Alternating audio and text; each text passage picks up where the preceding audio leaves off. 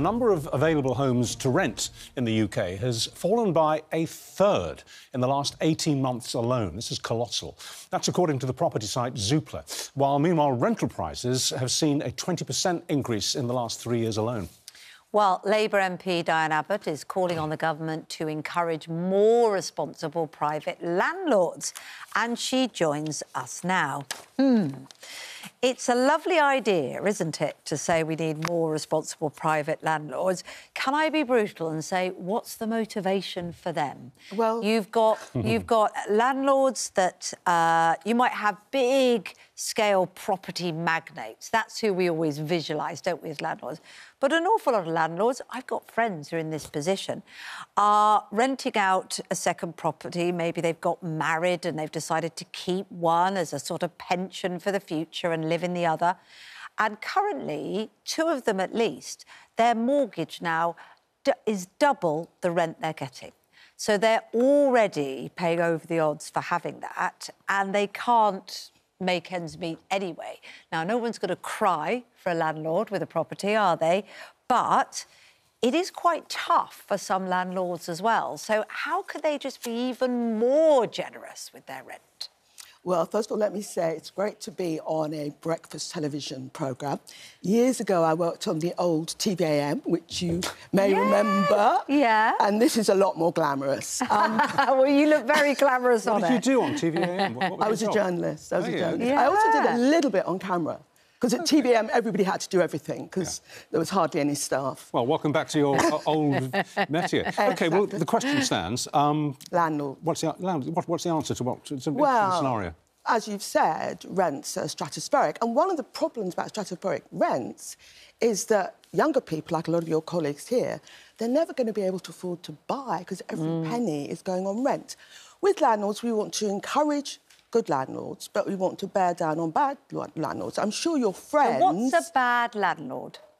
A bad landlord is somebody that, first of all, uses the no-fault eviction to get you out, and a bad landlord is someone that puts up the rent every six months, every three months.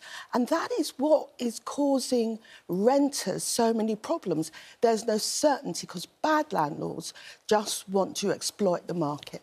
Isn't there a bill going through already, though, to deal with the uh, no beef uh, eviction, Section 21. I thought that was coming through this year. Well, the government has said that, but there's no sign of it. It's, it's not down for debate in Parliament. If, you know, a Labour government would put an end to no-fault ev evictions. Is it true, talking about bad landlords, how much truth is there in this anecdotal uh, reporting that some landlords actually charge potential tenants just to look around the property because yeah. the demand is so high, um, they feel that they can? Is that true? They are now charging just to look at a property. Um, some of them are charging a relatively small amount, thirty pounds, which you know, but some of them are charging hundreds of pounds. Well, you don't necessarily for that because our, our journalists, uh, who used to be one of in breakfast television, did a lot of digging on this because it's pretty shocking. You know, we all agree with that, and they could only find one or two anecdotal cases of sort of five or ten pounds. Where are you getting your information that this is a widespread problem? And it's actually illegal to do that. So the law since 2020 has said that you cannot do that.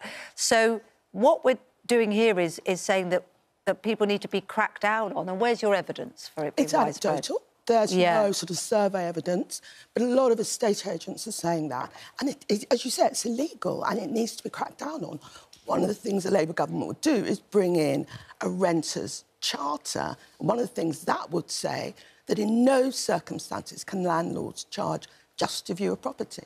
Okay. Well, there's already a law against it, so they don't need to bring it in. So there's no, there, there is a law against that happening. Well, it doesn't seem to be biting, does it? Because you, you hear too much anecdotal evidence, certainly in London, of people charging. Well, I wonder if the reason why it's not biting is because people are desperate. So well, they might know mm. it's illegal. They might well not know it's illegal. Know it's illegal, I'm telling you, if anybody tries to charge you that. And I'd be interested to know the names of the estate agents that you say are charging that, because we're going to look into that. But know it's illegal if you're going to look at a property. You shouldn't be charged for it. But I wonder if the desperation comes because there's so many people looking for the same properties, affordable properties, that they end up wanting to get any edge to get in there first to look, and that allows unscrupulous people to charge for viewings. That's true. You know, one in five people in London are in rented property. Mm. The competition for these properties is appalling. Mm. And as I said, it, the rents are so high, people cannot save to put a deposit down to buy property. Right. But the pressure on properties, the pressure on properties comes from a lack of availability of properties. And one of the things you're also get, uh, you're also questioning is the fact that a lot of landlords, maybe good landlords, are now because they can no longer offset their profit against their own tax burden and their own mortgage costs, are being put out of the market. So really, you know, putting more pressure on renting is, is going to cause fewer properties. What's the solution? A lot of the pressure mm-hmm. on prices has to do with the fact that people who years ago would be in social housing, mm. council flats or housing association property, can no longer do that. And one of the things that Labour would do is put up the numbers of social housing flats our mantra will be council housing, council housing, council housing. We're hoping to build 150,000 council or housing association flats, right. and that will take the pressure off the private sector. Now, you will know from your days working on breakfast television that time is always tight. and there are two more things we want quickly to talk to you about. One is whether you think, whether you know if Jeremy Corbyn is going to be standing as an independent, having been dumped basically by Labour. We'll come to that. But there was a very interesting interview, I don't know if you saw it or heard about it, by Nicola Sturgeon yesterday on, on one of the weekend uh, talk shows, political political talk shows, where she said that one of the factors in her decision to, to resign was just the endless abuse that she got on Twitter, um, online. I mean, uh, ludicrous rumours about her being gay, uh, and she's not. Ludicrous rumours about her having an affair with a French foreign minister. It just went on and on, she said, and, and, a lot worse than that, a lot of straightforward abuse. And she said it was a factor, and, a, uh, and it was going to be a great relief to her that she wouldn't come in for quite as much. You are one of the most abused politicians in this country online. I think the you? 2017 election, it, yeah. nearly you've, 50% you've, of yeah. all abuse yeah. was How, aimed directly it, at you. Does it get you down? It does get me down, but what I'm doing recently is I don't look at a lot of it. Good. My right. staff look at it because it would be it would be too upsetting to read some of the abuse. I don't mind people disagreeing with me. No, no. I'm a professional no, politician. this is abuse. This is abuse. I've, I've got it written down. Sexist I've got some of the quotes here. I can't read them out. They're disgusting. I mean, yeah. they are absolutely disgusting. Yeah. Um, a, a, lot of it's racist, isn't it? But it's not all racist. A lot of it's sexist. Yeah. A lot of it is just plain hatred. Yeah. Horrible, uh, really uh, horrible. Would it ever? Would you ever get to the point you think where you, you might think like Nicola Sturgeon did? Enough's enough. I'll go and plant some bulbs in the garden. No, I'm not going to do that because then they will have won. But I've had young women work for me who say I would never run for Parliament because I couldn't take that type of really? abuse. Yeah. Now, nearly four years ago, the Labour Party was trying to encourage the nation to vote for Jeremy Corbyn to be Prime Minister. He was then leader of the Labour Party. Now he's been thrown out by the party. Um, it is extraordinary, isn't it, that we're now in a position where the Labour Party is asking the country to trust it again that it's got its leader right. Do you think Jeremy Corbyn will stand as an independent? You well, were a great friend and supporter of his, of course. I remain a good friend of his. And let me say, because I've known him for over 40 years, Jeremy is not now and has never been an anti Semite, whatever you think of his politics.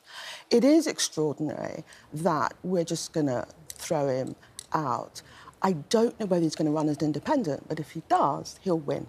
Been the MP for Islington North for 40 years, very hard-working local MP, and if he runs, he'll win. You'd back him to run as an independent? Oh, I couldn't back him because I'm a Labour MP and we're not allowed to back independents. Personally, your personal feelings would be very much in support of him, wouldn't they? I've been a friend of Jeremy's, I yeah. say, for You say he's not an anti-Semite, uh, but of course his problem was that he was seen not to crack down on anti-Semitism within the party. That was the issue.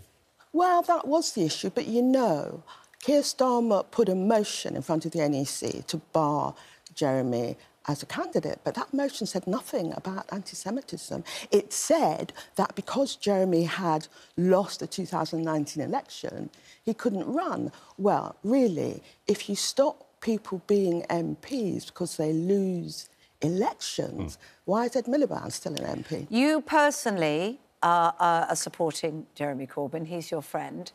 Um, does that mean that there's a conflict between supporting the current leader? No, I will always support the leader of the Labour Party. okay, that's a, a, very... little, a little giggle there. okay, I'm not sure Keir Starmer would take huge confidence in that, in that endorsement, but lovely to speak to you this morning, Dan. Thank you, Dan.